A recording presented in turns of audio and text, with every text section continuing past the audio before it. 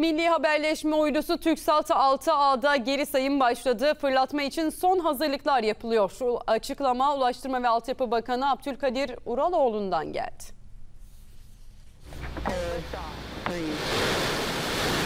Zorlu test aşamalarını başarıyla tamamladı. Yerli ve milli haberleşme uydusu TürkSat 6A fırlatılmak için gün sayıyor.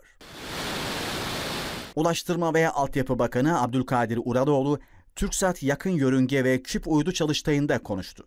TürkSat 6A için tarih verdi. TürkSat 6A pek çok zorlu testi başarıyla tamamladı ve yaptığımız değerlendirmeler sonucunda 2024 yılı Mart ayında yer teslimi gerçekleştirilecektir. Bu aşamadan sonra da SpaceX firması ile yapılan anlaşma doğrultusunda Haziran ayı içerisinde yörüngesine fırlatılmasını hedefliyoruz. Uydu teknolojisinin önemini anlatan Uraloğlu, dünyada söz sahibi olmanın yolu uzayda iz bırakmaktan geçiyor dedi.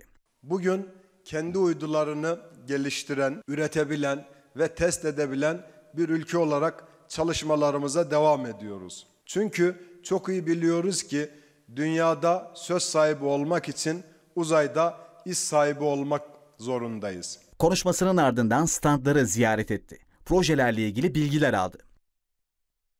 Daha fazla video izlemek için kanalımıza abone olabilir, ilk izleyen olmak isterseniz bildirimleri açabilirsiniz.